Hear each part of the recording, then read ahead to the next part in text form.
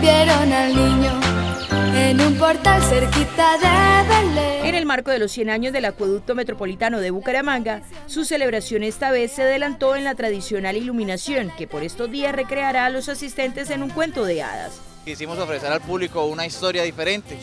Eh, trata de una hada que fue la encargada de cuidar la naturaleza, de darnos el mensaje de cuidar el agua, un recurso fundamental para todos nosotros. Entonces a lo largo del parque, el recorrido van a encontrar con varios mensajes sobre el cuidado del agua y a su, vez sobre la Navidad. Cada paso por el parque es un hilo conductor que atrapa a sus asistentes. Pues los invito a que vengan al Parque del Agua porque tengo entendido que era el antiguo acueducto, ¿cierto? Me parece lindo porque tiene dos razones. Uno que es como una especie de museo de lo que era el acueducto antiguo y que han aprovechado pues toda la vegetación linda que tenemos aquí en Bucaramanga o que tienen ustedes aquí en Bucaramanga para, para bueno, para darle más fuerza a la Navidad con, entre la naturaleza. Siempre deja un mensaje muy eh, importante para los niños y es conservar el medio ambiente, cuidar las plantas y creo que lo están logrando con, la, con, el, con el concepto del hada. ¿no?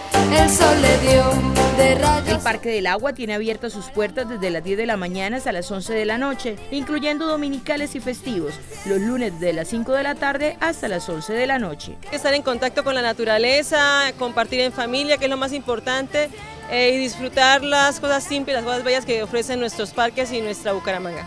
Quedan todos cordialmente invitados, acá van a ver espectáculos como mapping, hologramas, juegos de luces, de láser, que es un gran atractivo para la ciudad.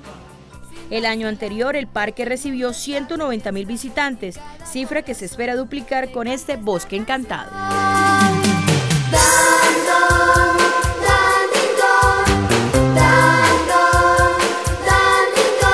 las campanas tocan la fiesta porque ha nacido Dios el